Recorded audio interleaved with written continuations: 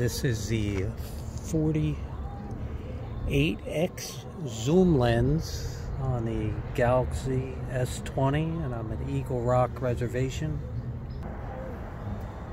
And there it is, the 48x zoom.